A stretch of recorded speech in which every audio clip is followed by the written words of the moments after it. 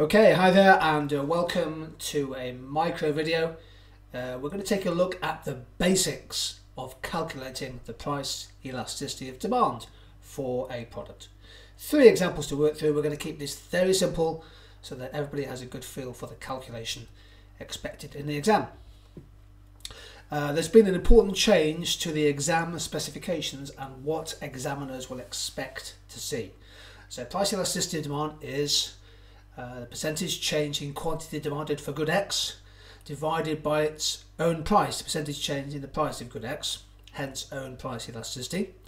And normally the uh, elasticity demand is negative. There should be an inverse relationship between quantity demanded and the change in the price. However, the new specs and the marking require now students to include the minus or the plus signs along with the coefficient.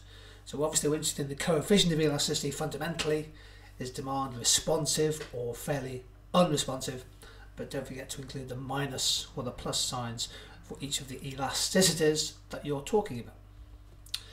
And in terms of coefficients, if the coefficient is zero, demand is perfectly price inelastic. If it's less than one, demand is price inelastic.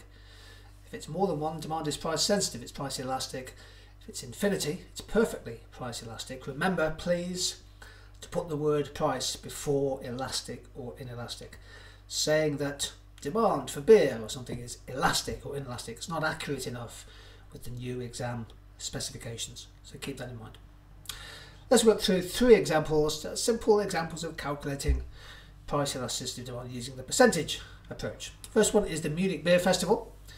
Uh, we're told the price of a litre of beer this year will be 11 euros 80 this is 3% more expensive than in the previous year, and the number of units of beer drunk at the festival is expected to fall by 0.4%. Calculate the likely price elasticity demand for beer. So, are beer drinkers sensitive to a 3% increase in price? Well, demand is going to go down by 0.4%.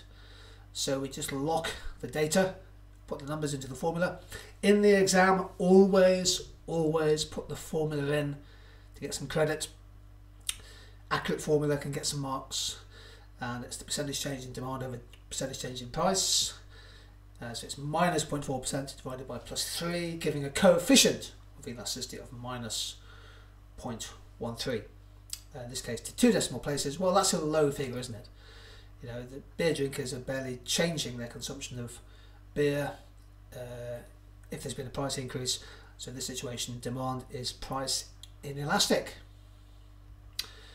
Second example, the cafe bar in a town or city currently sells 150 meal deal bundles each day at a price of £4. As a promotion, they cut the price to £3 and find that sales of meal deals expands to 220 per day. Again, calculate the PED for this price cut. So uh, put the formula in, percentage change in demand over percentage change in price. Uh, percentage change in price is 25%. The price has fallen from £4 to £3. That's a 25% fall in price. And in terms of quantity demanded, well, uh, a change from 150 to 220 is a change of 70 over the original 150 is plus 46.7%. So nearly nearly double sales. Sorry, nearly 50% increase in sales.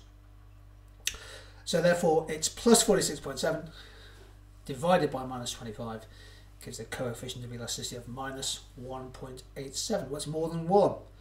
So demand in this example is price elastic.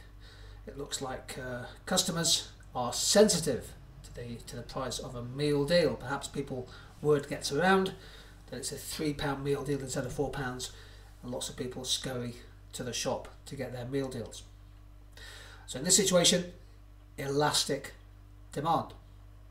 Here's our third example uh, to do with the sugar tax. As a result of the sugar tax or the sugar levy, the average price when buying a half litre bottle of Coca Cola regular Coke with a full sugar in there will now cost an extra 12p, taking the price from £1.37 to £1.49. Some analysts are forecasting that sales of regular Coke will fall by 7% as some consumers switch to zero sugar alternatives. Again, calculate the likely price elasticity demand for regular Coca-Cola.